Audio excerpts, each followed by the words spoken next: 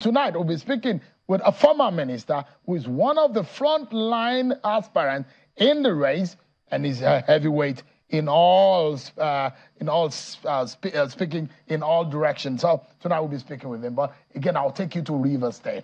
What is going on in that state? It does mean, with the court ruling today, that there is no budget in River State. So where does this leave Governor Fubara?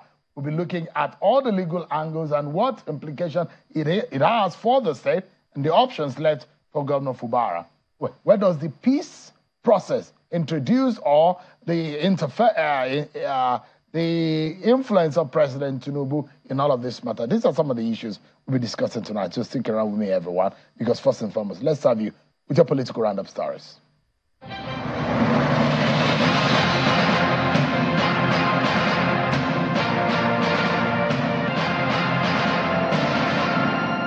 A governorship aspirant in the All Progressives Congress in Edo State, Honorable Anamero Dekeri, has faulted the report of his exclusion from the governorship race by the Professor Julius Ihonvbere-led screening panel, insisting that he remains in the race. Addressing a news conference in Abuja, Honorable Dekeri described the report presented by the committee as a betrayal of the true performance of the aspirants as it lacks merit. The report presented by the committee totally betrayed the true performance of the aspirants are lacking in merit which was observed even by the state party leaders. The governorship candidate of the People's Democratic Party in the 2023 elections in Kaduna State, Issa Ashiru, has been reacting to last week's Supreme Court judgment which affirmed the election of Governor Uba Sani of the All Progressives Congress. Addressing a news conference in Kaduna, Mr. Ashiru notes that justice was not served in the apex court's ruling insisting that he was robbed of his mandate freely given to him by the electorate. The Young Progressives Congress YPP has denied reports about a purported collapse of the party structure into the All Progressives Congress in Akwa Ibom State. The YPP says this report is false and an imagination of some group of individuals.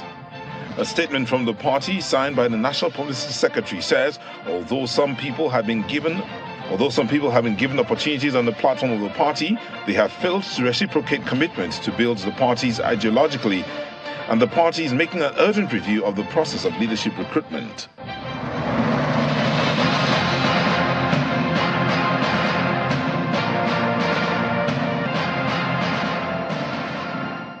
Thank you so much, everyone. We're continuing our monitoring of the unfolding drama of the APC Edo governorship race. The screening process led by the Professor Julius Ihonvbere Committee is culminated in the unveiling of a list featuring four aspirants. While some say, no, it is actually six. Some would say it was an initial 10. But what a lot of people will not disagree with is the fact that there are 29 established interest aspirants in Edo APC. But why the screening committee says their, their own effort is to prune the number down from 29, however, there are effort that has been met with mixed reactions among the aspirants.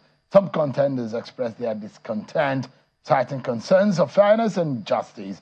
Today, a member of the House of Representatives, Honorable Anamero Dekeri, is one of those who have come forward in a press conference in Abuja, and he says that the outcome of that committee's uh, activity is a betrayal of the true qualities of those who were screened and he says it's going to go ahead. Take a listen again to him.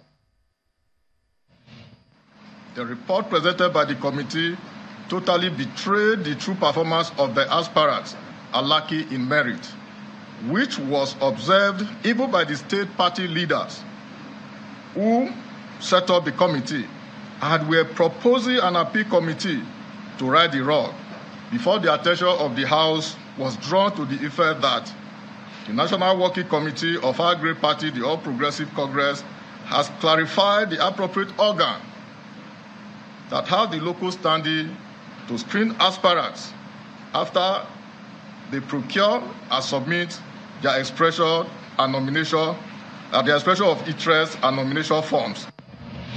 Well, that's one of uh, the aspirants, a sitting member of the House of Representatives, Honorable Anamero carry. Well, the stakes are definitely high as the political landscape in Edo is taking shape. But again, what does this mean? It's uh, uh when we wonder that when that process went on, uh, everyone will accept it. But then there are those who say uh, the democracy is this is far from democracy. Tonight, I'm being joined by one of the frontline aspirants in that race for the APC ticket, a former Minister of Budget and National Planning, Prince Clem Agba. He joins us live here in our studio. Thank you so much indeed for joining us tonight. Thank you, Shemu, for having me. Yeah. yeah. So uh, let's clarify. There are those who believe that the Honorable Ihonvbere's committee, first and foremost, came from 29, pruned the number down to 10.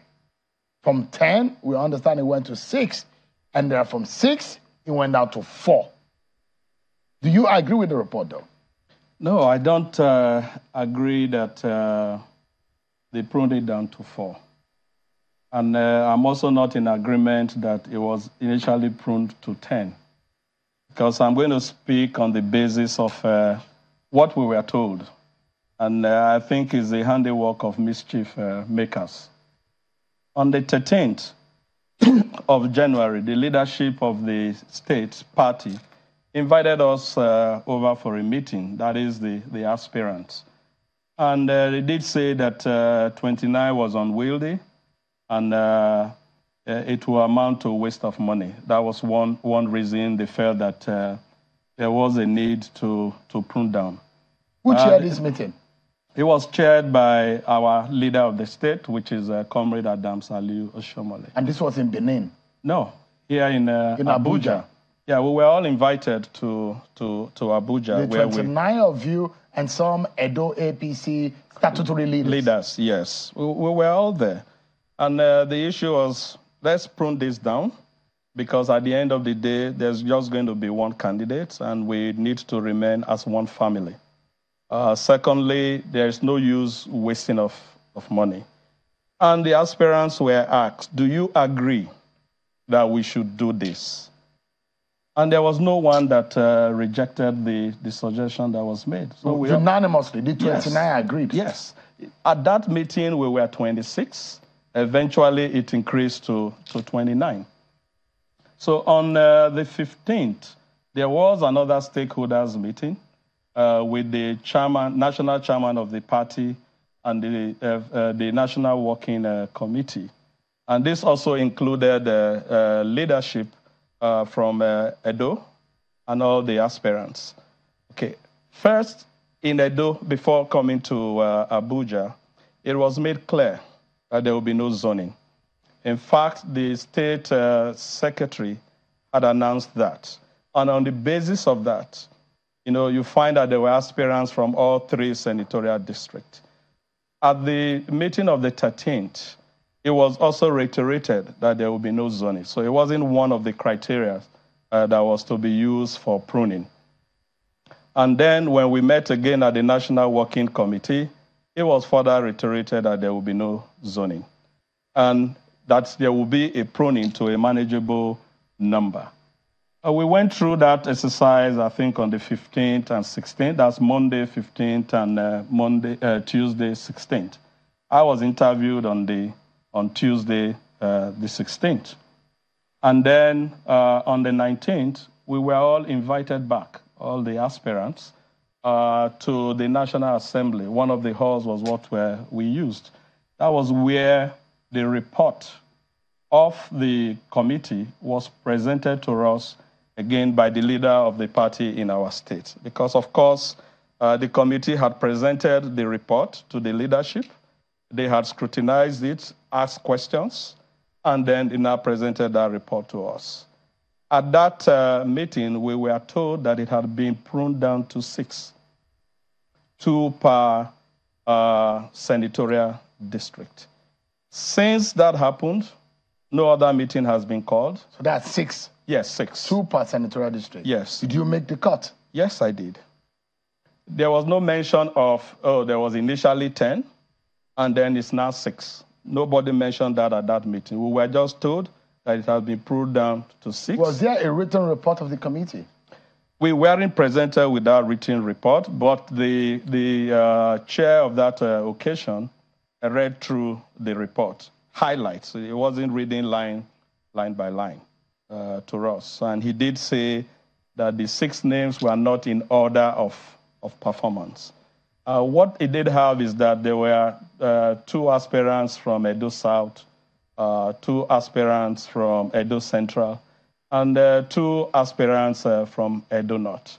I, I, recall in that uh, meeting that one of the aspirants from Edo North, you know, uh, uh, through one of his argument, the comrade governor did make some explanation to him, and he said, I recall in 2016 when he was governor and he was about leaving, and uh, someone came to him from Edo North to say, uh, I want you to support me to be governor. And he felt that it was uh, not morally right mm.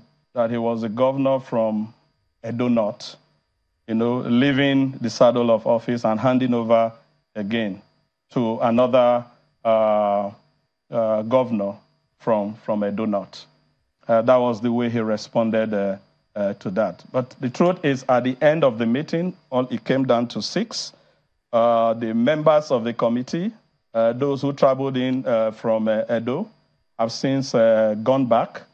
no other meeting has been called, just like it was called the initial time, where we were told we would like to prune. Do you agree? So no one has asked any other person uh, whether they agree to a further pruning. No criteria has been provided, you know, uh, like it was provided in the first instance to say this will be uh, the terms of reference. But it, it was actually agreed that, um, that nobody, even after the report, is stopped from obtaining forms.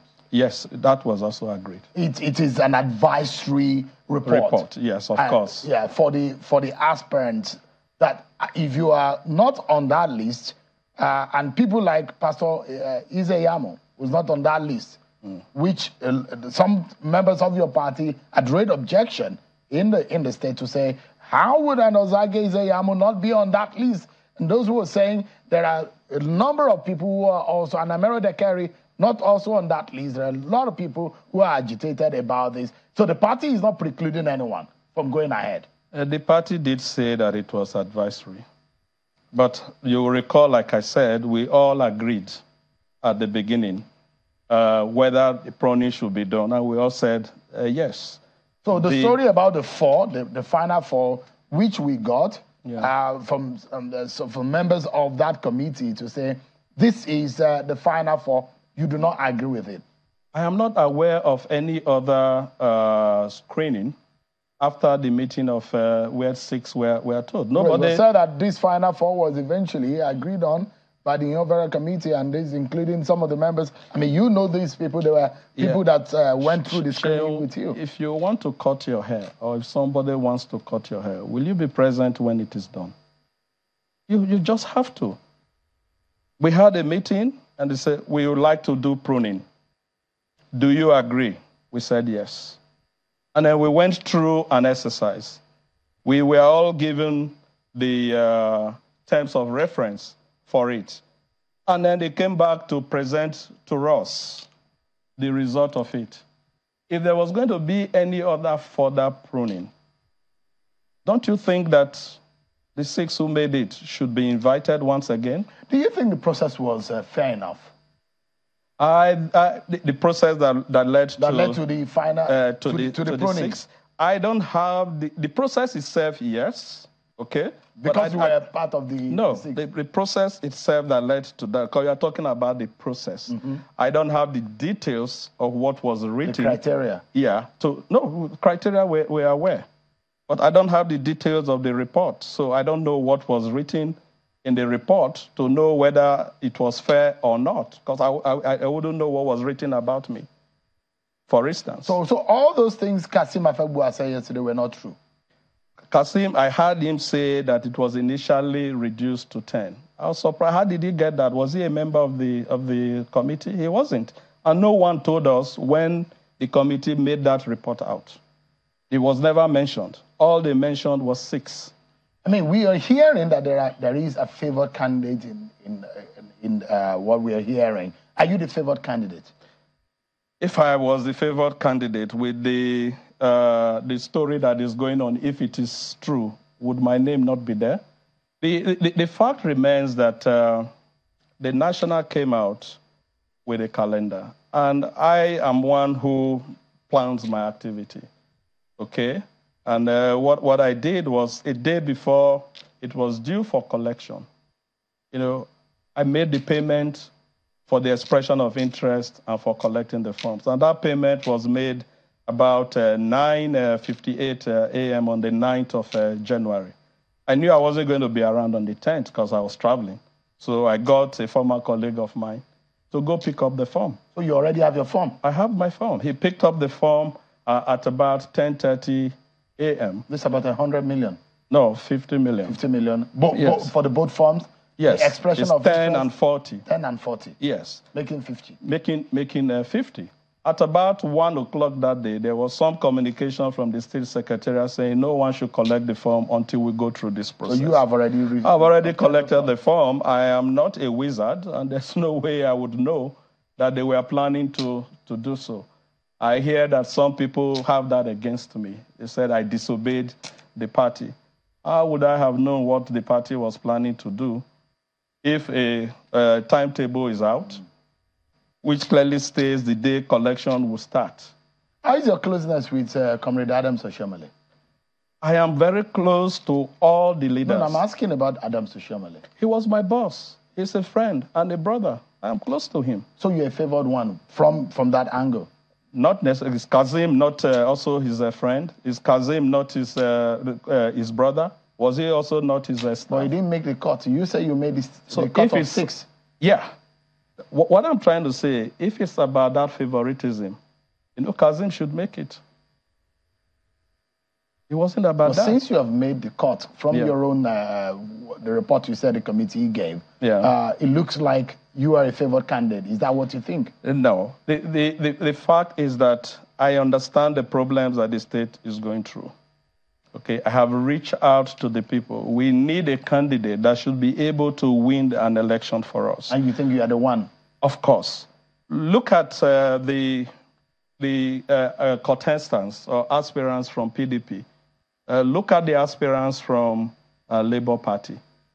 These are the people we are going to contend with, that we'll be going into debates with. Look at their profiles and see what they have. Look at the four right now, and even others, you know, and see what their profile is.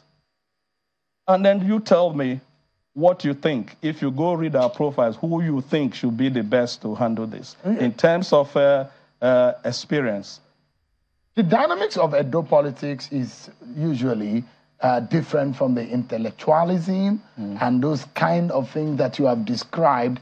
Uh, the dynamics and those things that the voters look at yeah. are totally different. Yeah. And uh, in these ways, there are those who will say, you are from uh, the same senatorial district as Comrade Adams Oshiomhole. Is that right? Of course, that's right. And uh, those who will say, fairly speaking, yeah. should the next governor come from that senatorial district? The current governor is from Edo South. He's done two terms. Eight years. Eight years. Okay? The current governor is not from Edo North. And I think we have also gone beyond this when the party did say ab initio, no zoning. So you cannot begin to change the rules of the game in the middle of the game. Would, would, that be I'm right? I'm just asking a question that that, uh, that, that sits in the hearts that, that of the quest, sensibilities question, of the people of Edo State. Yeah, that question has since been a, answered by the party. Those who are from the Edo South, what yeah. do you think they will think about those of you from the North? Yeah. Adams Oshiomhole will spend eight years before mm. Godwin Obaseki from yeah. Central will spend eight years. Mm. Where does this leave the Edo South people? No, Godwin Obaseki is from South. It's not. I mean, from, uh, from the south. It's not, from, it's central, not from, yeah. from uh, central. Yeah. And it, it is not uh, uh, an issue of it comes here, it goes around. Look at the problems that the state currently has. If we want to look at the issue of equity, honestly, in fairness, Central has had two governors, South has had four, and the North has only had one, who would say Comrade Adams Ali Oshiomhole. If you look at number of ministers, Central has had five. Uh, the South has had three. And I was the first from the North. We have the second one. And I was also a minister of state, not a full fledged minister. So if you look at it from this uh, perspective, will you say that there's uh, equity? Again, when you look at faithfulness to the party, Edo North has been very, very faithful to the party. Since 2007, I have delivered from my, my unit, my ward, my local government, and my senatorial district. In fact, in the second term of Comrade Adams Oshiomhole, the 2012 uh, elections, from my unit, it was 100%. And he did say to me, Clem, I didn't ask you to go and commit murder. I always say we should win. Because having seen the work that he did from 2008 when he came in, it made it a lot easier for me in 2012 because there was something to speak to. And that's also the issue now. Because when I say I consider myself the best, I was a commissioner in the state and I did work. But there, are those who will compare you to the likes of uh, um, Osagie Ize-Iyamu, who Is, has been an institutional politician in Edo State. Do you stand in the same, uh, on the same pedestal, politically speaking, with an Osagie Ize-Iyamu? Mine is totally different because uh, politics is not my only address. I worked in Chevron, you know, and I, I rose to become a manager, not only here in Nigeria, but in Kazakhstan. Okay? And it was from Chevron I took a leave of absence and I came to Edo. And the urban renewal you find in Benin was my product. Okay? Under Adams Oshiomhole. Under Adams Oshiomhole. I did the designs. Yes, he was the governor, so he, he was leading the team. But people had to generate some of those uh, ideas. And I did in most of uh, uh, uh, uh the cases. As a minister, attracted several projects to the state like never before, which is one grasp some people seem to have with me because they feel that once you attract projects, you are making money and you should come and share money. Let me, let me look, uh, take, take you to the area of your capacity. Yeah. Uh, you have talked about your experience, your profile, your pedigree, but then uh, do you really understand the problem and the challenges uh, of Edo people today? And if you do, what would you say is the primary challenge, challenge or problem of the people of Edo today? Right now in Edo, the people feel pain. You know, uh, they do not have a governor who has empathy for them and the problems that the state has. During Comrade Adams Ali Oshiomhole's regime, those uh, eight uh, years, there was substantial progress that was made in infrastructure. Okay, and when I'm talking of infrastructure here, it's both road infrastructure, uh, uh flooding uh, infrastructure, the urban renewal programs uh, that we did.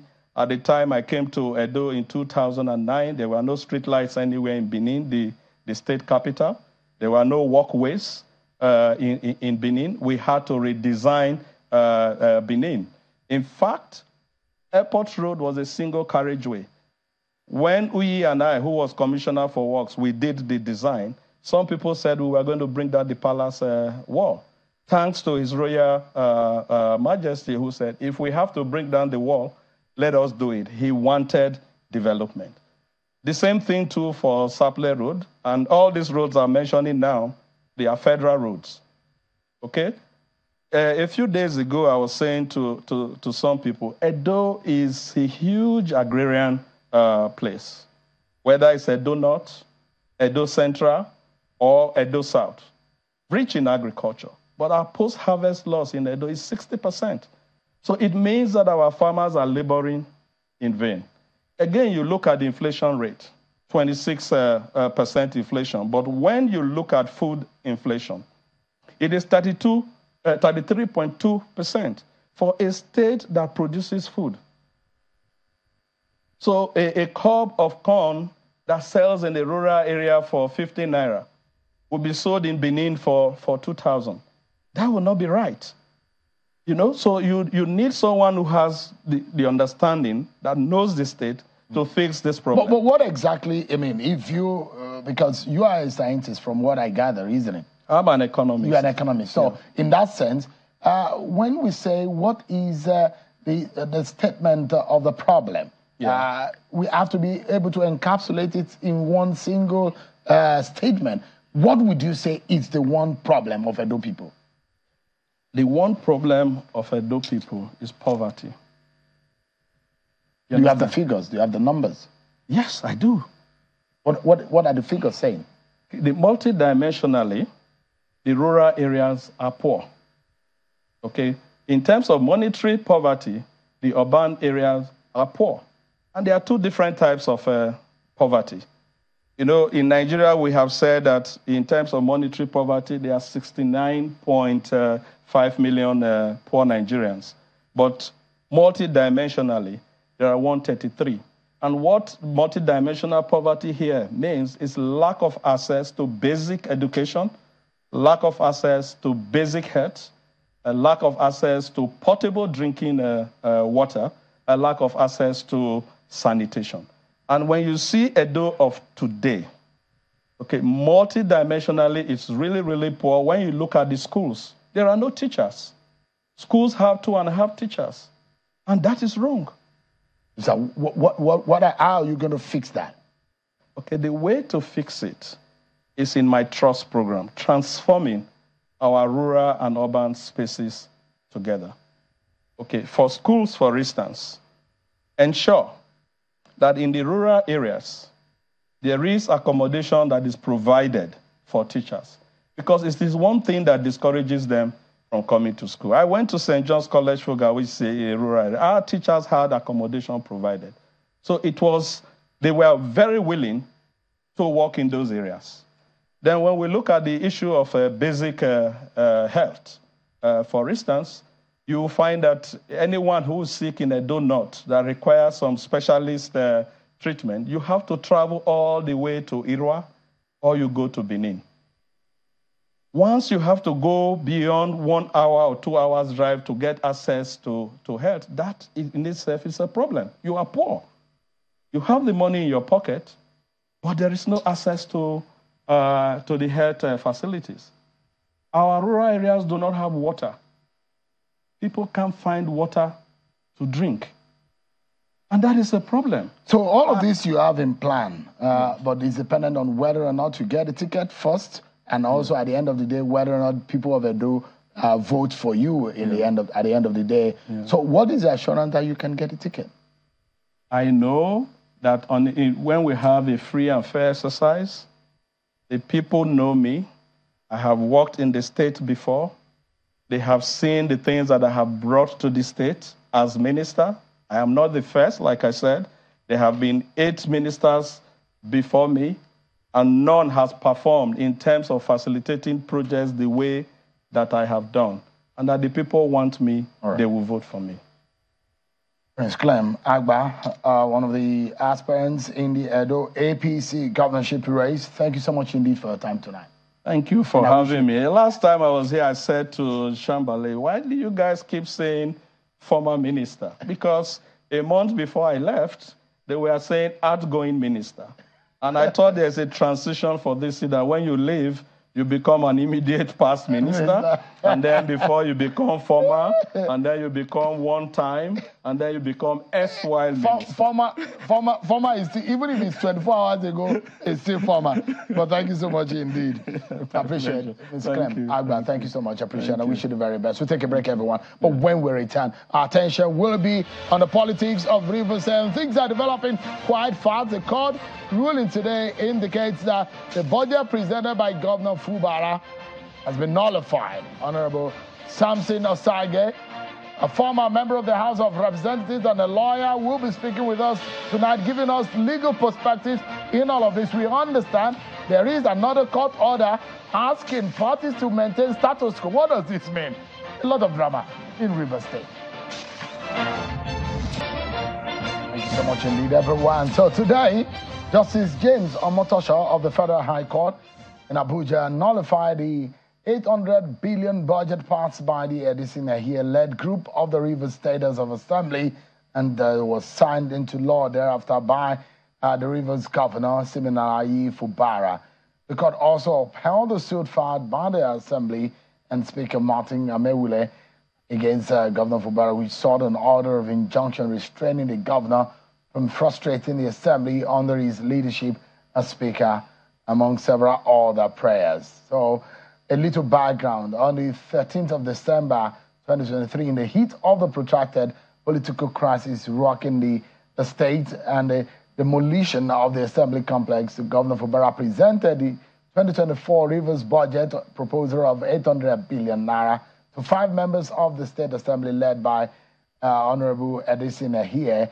The presentation was done at the Government House in Port Harcourt following the demolition of the assembly complex by the state government and uh, the after a court restrained a year's contender Martin Samuel from using the assembly complex here and the other pro-Fubara lawmakers passed the budget estimate the governor signed the bill into law, saying it is aimed at promoting economic development through inclusive growth and addressing socio-economic inequality in the state.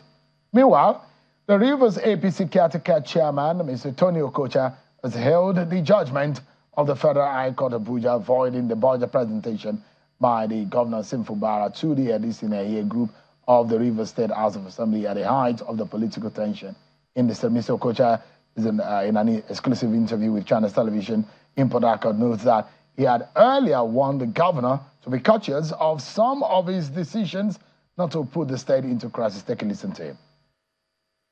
What constitutes an assembly is not the building. It is the human beings, the assembly members elected. And for an assembly to sit and be seen to be properly, it must have one third of the members sitting and meeting. And one third of 31, I mean, conservatively is 10. So even discussing with four members of the assembly and submitting to them or presenting to them a document as all important, as all important and as crucial as, as the budget is criminal in the first place. Okay, so the judge was right. In fact, like I said, it's commonsensical that you don't can't do a thing like that. All right then. So things are developing so fast. Then we're now hearing and understanding that there is a new development coming from the courtroom. Uh, Justice Joyce uh, Malik of the Federal High Court in Abuja has now ordered all parties in the River State Assembly crisis to maintain status quo.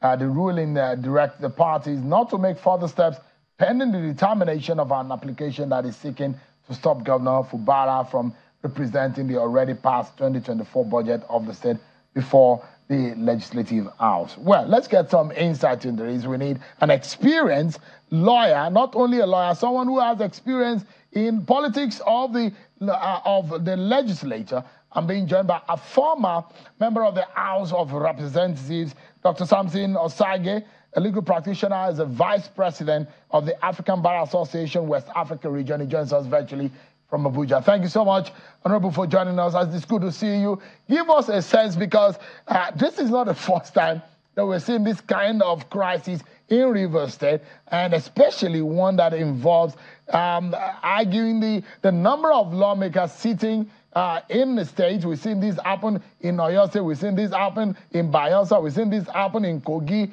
even in Edo State, this has happened. But what does this particular one uh, teach us? What can we learn from it?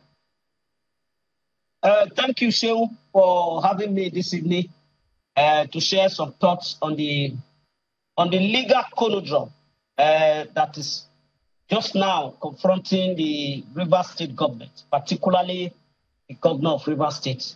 And for this purpose, I need to draw attention to the fact that three sections of the Constitution are quite uh, apt in discussing this subject matter. Section 91 of the Constitution Section 120 of the Constitution and Section 121 of the Constitution. Beginning with Section 91 of the Constitution, which defines what a House of Assembly is. It says that the House of Assembly shall consist of at least three to four times the number of these members of the House of Representatives from that state. So, in other words, the House of Assembly is not the building, it's not the structure. It is the number of persons elected to represent the different constituencies. In Rivers State, for instance, we have 32 elected members of the House of Assembly. And it is expected under Section 91 of the Constitution that not more than one third of that House shall have the authority to conduct legislative business. So, what is happening now is exactly what Governor Obaseki had perpetrated in his entire four years as governor of Edo State. Now, in section 121 of the Constitution, it says the, the governor shall lay before the House of Assembly. So now, if section 91 defends House of Assembly to me, a House of Assembly that can be made up of three to four times a member or one third that can take decision. It means that four people cannot form a House of Assembly. Therefore, legally speaking, as at the time Governor Fubara presented the budget before four members of the River State House of Assembly, it was not only an illegality, it was an unconstitutional act, both on the part of the governor himself and on the part of the four legislators who partook in that session. And what is even more, Section 120 of the Constitution made it clear. And that is why Governor Fubara was very careful. You cannot spend any money out of the consolidated revenue fund of the state unless the issuance of that money has been authorized by a law passed by the House of Assembly.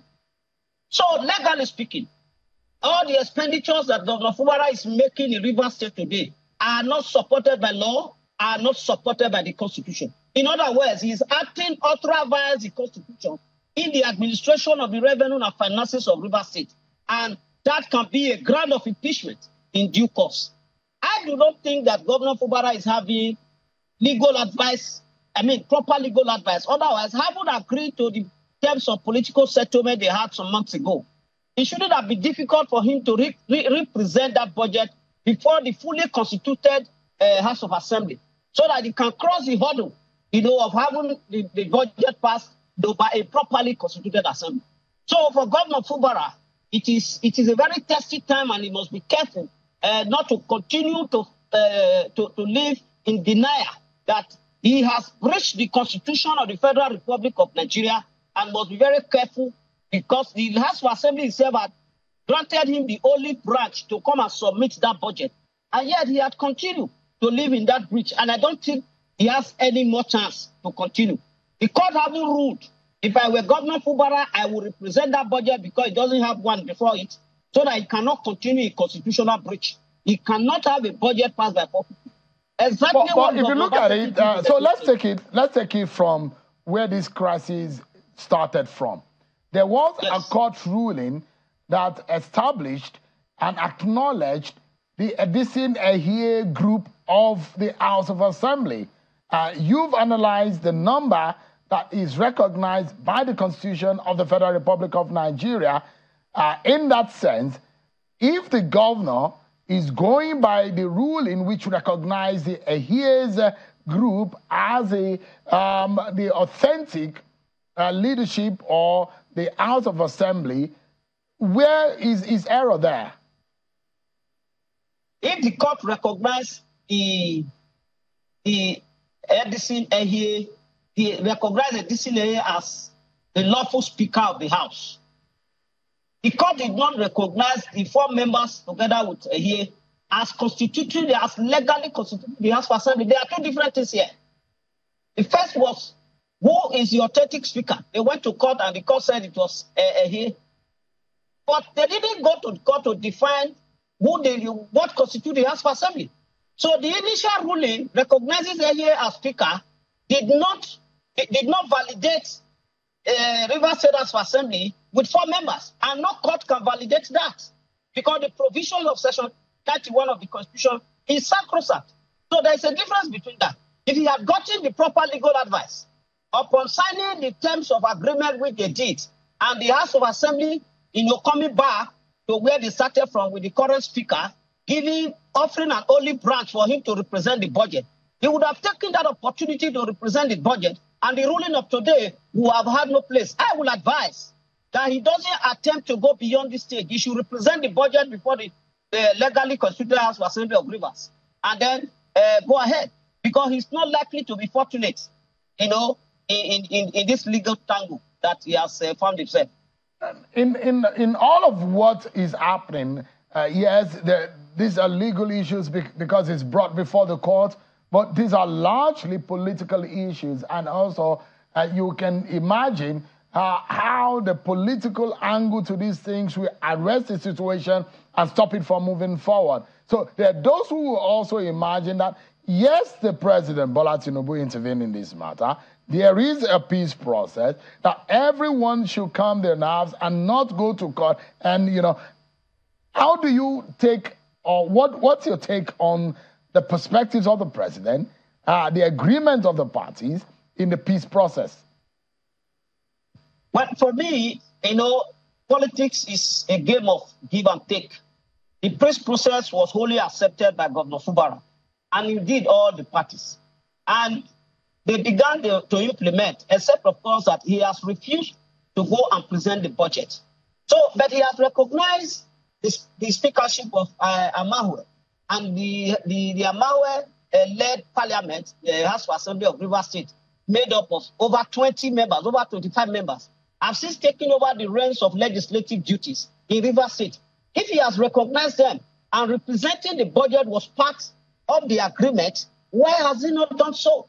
So, as far as I'm concerned, Mr. President has played the role of a father in order to bring sanity, you know, to the entire political uh, system in a River State. But the parties have remained defiant one way or the other. So I believe that the parties have a duty to allow peace reign, follow the law, and follow the agreement to which they have signed. If they don't do that, then it is no longer the president that is the problem, or that it, the, the, the intervention of the president would have made no impact at all. And it is in their elected self-interest and for the interest of peace, security, rule of law in River State that they should follow the procedure, you know, hook, line, and sinker, so that we don't get to a stage where we are now that Fubara is to be cited for constitutional breaches. And one of the ways, one of the grounds that can lead to impeachment is a breach of the Constitution. When you spend money belonging to the state without the authorization of your parliament, then you are in gross violation of the ground norm, which is the Constitution of the Federal Republic of Nigeria. And you can have no defense to that. So he must save himself from the impending, impending uh, uh, catastrophe uh, that, that, that, that hang on his neck like the sword of Damocles. So you will see now that there is uh, a more problem brewing because from the courtroom of jo uh, Justice Joyce Abdul Malik of the Federal High Court in Abuja, the court has ordered all parties to maintain status quo. And let me, uh, the aggrieved members that have gone to court uh, include uh, uh, River State House of Assembly member representing Bonny State constituency, Honorable Victor Okonjumbo, uh, Senator Bennett Birabi, Senator Andrew Uchendu, Rear Admiral Fingesi, and Annkio Briggs, and Emmanuel Denhima. Their lawyer is uh, uh Luka Julo, and their prayers are that the court should unseat the 27 lawmakers who moved from the PDP to the APC. You know, this is another fundamental issue in the old dynamics. And he's saying, look, whatever that is happening, all parties should maintain status quo. How do you interpret this, uh, Dr. Osagie? Maintaining status quo can be an order, can be an interim order granted before a substantive application before the court, you know, is heard and ruled upon. So it is it is an order that is not likely to last in perpetuity. In other words, you cannot tell at the moment what the final order it will be when the substantive motion on notice will be taken at the next hearing. But what is more important is that regardless of this suit that you have just talked about, the other ruling of the court invalidating the presentation and passage of budget and assent, uh, uh, signing of the budget of 800 billion for River State has now has not has not received the hammer of the court to the extent that that budget is invalid because it was not properly or was not passed by a properly constituted assembly. That is a much more greater issue right now than the issue you have just raised. And I want to believe that those who have gone to court at the moment, you know, to ask the court to unseat the 27 members, you know, on grounds that they have defected to another political party, are going to be facing an uphill task and will not be doing good to the governor if they continue in that trajectory. So, at the moment, what is even more important and more tangential, you know, to Governor Fubara's hold on governance in the River State is the budget that he's, he's implementing. He is implementing a budget that has not been properly passed by a legally constituted assembly. So what, uh, what uh, uh, Dr. Sagi, what you will be advising uh, Governor Fubara is that he should not touch the budget. He should not touch the money that is unappropriated for until this case has been fully determined. No. He, he, what he needs to do is to seek a political solution, ask those who have gone to court against the assembly members to withdraw their matter, and then he represents the budget. That is the easiest way out for him under the circumstance, so that he can represent the budget and stop continuing in the violation of the Constitution. But there are those who say he should not represent the budget. And there are those who say, look, this is a violation, going to court is a violation of the peace process to not represent the budget, fight is on. In fact, there are those with the argument that in the eye of the law, those four or five lawmakers were the lawmakers of the House as far as the court was concerned at that material time. And in that sense, whatever they did was legal and binding. That argument will fall flat. That argument, that argument will fall flat in the face of Section 91 of the Constitution. As at the time that budget was presented to four lawmakers, there was no assembly as such. So let's even assume that the 27 members of the River State House of Assembly that defected to another party loses their seat. It meant that at that material point in time, there was no assembly because the, the Constitution does not recognize a number less than one third of the assembly as capable of being exercising of exercising the powers of the legislature.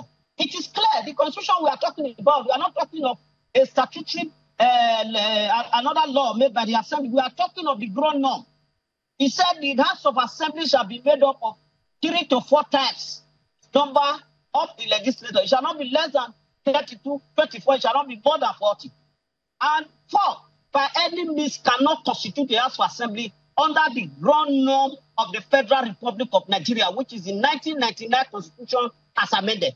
So that their argument that only four members constitute the Assembly will fall flat in the face of Section 91. And there is no way any court can validate that uh, the, the, act of passing a budget by four.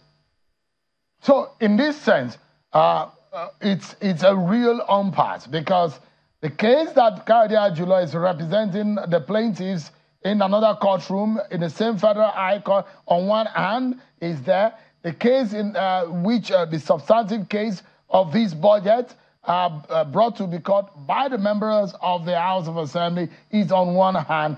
And you have said tonight that for the governor to be able to have a headway, he needs to seek a political uh, solution to this. But in that sense, you look at it, who bears the brunt in all of this? The buck stops on the table of the governor. Like I said, he is working on a very tight rope just now. River State, by the ruling of today, has no budget. So if he spends a penny of the revenue of River State, whether from the internally generated revenue or from the federal allocation, he is doing so in gross violation of Section 120, subsection 1, 2, 3, and 4 of the Constitution of the Federal Republic of Nigeria. And that is gross misconduct, which is capable of leading to his impeachment. So he shouldn't provide he shouldn't provide his adversaries with weapons to fight him. But At fundamentally, fundamentally, uh, Dr. Osagie, this is uh, a brainchild of a political feud with his godfather, Nyesom Wike. That is the primary cause of all of this problem. And so the people of Rivers State will be bearing the brunt in all of these. The, the old dynamics oh, is that there is a Nyesom Wike on one hand, and there is a Fubara on another hand. And in all of this fight, it does look like the grass is going to suffer. If there is no budget, governance, governance is going to be at a standstill. Sure. And that is why the governor, as the chief executive officer of the state, must do everything within his powers to ensure that the exercise of his powers are not hindered by any constitutional or legal conundrum such as he has found himself. Regardless of the political interpretations to what is going on, whether there's a godfather somewhere or not, he must keep his eye on the ball to ensure that in the course of this imbroglio, he is not found wanting as violating any law of the land, not to even talk of the constitution. So uh, it is in his own interest, and yeah. it is in the interest of the entire Rivers people that the, the political solution that was uh, midwifed by Mr. President be allowed to see the light of the day. Well, it doesn't look like, uh, and this is perhaps how I want us to wrap this up in 30 seconds, uh, Dr. Osagie. Uh, it does look like the intervention of President Tinubu is not working.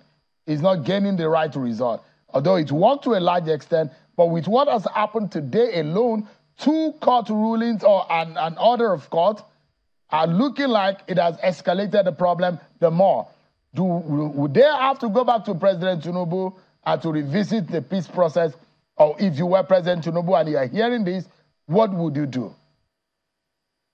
President Tinubu is not the governor of River State. He's the president of Nigeria and he has a responsibility to govern this nation, including all the subnational governments. His intervention is on black and white, and I think that the parties, the parties to that agreement must come together to save River State from unnecessary hits and unnecessary destruction. It is not in the interest of any of those parties, any of the parties. It is not in the larger interest of the people of River State. Above all, it is not in the interest of the governor of the state himself, who must ensure that he navigates his way out of this crisis by not uh, giving himself up All right. to be found wanting of breaching the constitution or any law land. Dr. Samson Osagie is a legal practitioner as the vice president of the African Bar Association West Region and a former member of the House of Representatives. Thank you so much indeed for your time and the legal insight that you've given to us on this matter. Thank you so much indeed. Thank you so much, Seun, for having me. I appreciate it. God bless you. Just before we go, everyone, let's tell you that yet there is another court case that is brewing, and this one is about the internal workings of the People's Democratic Party.